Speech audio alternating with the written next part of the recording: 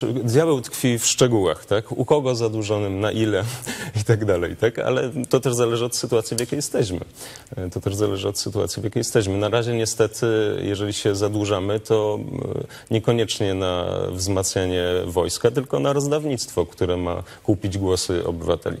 E, Wspomniał Pan o, o inflacji. Rzeczywiście jest ona rekordowa od 24 lat. Jak z tą inflacją walczyć?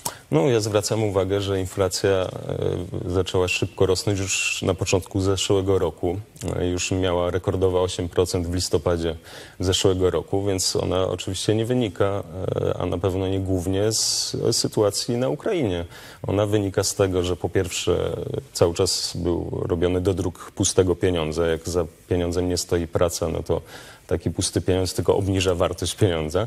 Po drugie były wprowadzane na wyrost lockdowny w związku z, y, ze stanem epidemii, w związku z czym przerwano łańcuchy dostaw, y, więc podaż jest niższa, popyt jest duży, więc rosną ceny, tak? I po trzecie znowu właśnie rozdawnictwo, pobieranie ogromnych podatków, później rozdawanie tych pieniędzy, to są trzy rzeczy, które powodują tą inflację. Więc jak z nią walczyć? No trzeba się y, wycofać z, do druku pieniędzy i wycofać z, z rozdawnictwa. Po prostu nas na to nie stać. E, mm, oprócz, e, co zrobić z, z, z drogim paliwem, co zrobić z, mm, z drogim węglem? to Państwo macie propozycję e, taniego węgla. Pytanie, w czym ona jest lepsza od rządowej propozycji, rządowej ustawy o cenie gwarantowanej za tonę?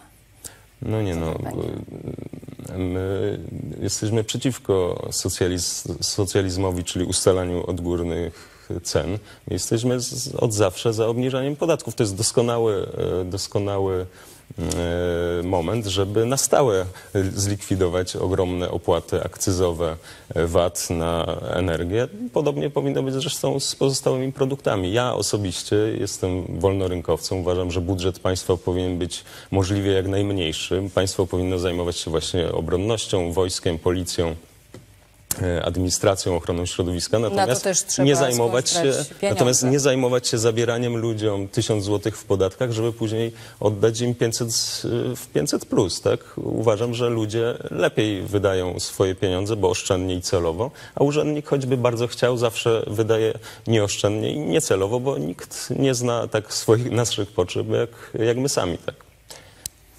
Czyli y, y, rozumiem, że kry- krytykuje Pan rządową, e, rządową e, propozycję tej Uważam ceny że, uważam, że rząd powinien obniżyć y, radykalnie podatki i zrobić to na stałe. I zrobić po prostu to na stałe, co się oczywiście wiąże z tym, że powinien zaprzestać rozdawnictwa, bo nie da się jednocześnie mniej pobierać w podatkach, jednocześnie y, rozdawać. To też napędza inflację. E, W ostatnim sondażu e, wyborczym e, Konfederacja znalazła się poniżej progu wyborczego. Skąd te spadki? I co To zamierzacie z tym zrobić? To, to, trzeba pytać w sondażowniach.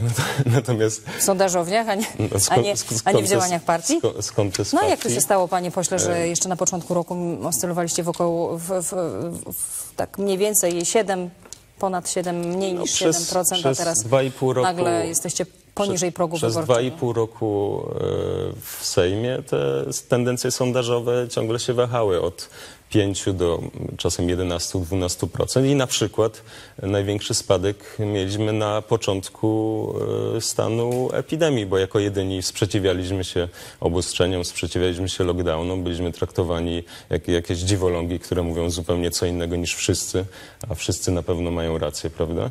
I, ale po czasie, ale po czasie nasze podejście zostało zrozumiałe, no i wtedy mieliśmy ogromny wzrost. Teraz mamy kolejny kryzys, kryzys związany z Ukrainą, do którego znów mówimy zupełnie co innego niż pozostałe partie i znów jestem przekonany, że po jakimś czasie wiele osób doceni to, że od początku mówiliśmy nie to, co wypada, to, to co nie jest krytykowane, tylko to, co jest słuszne.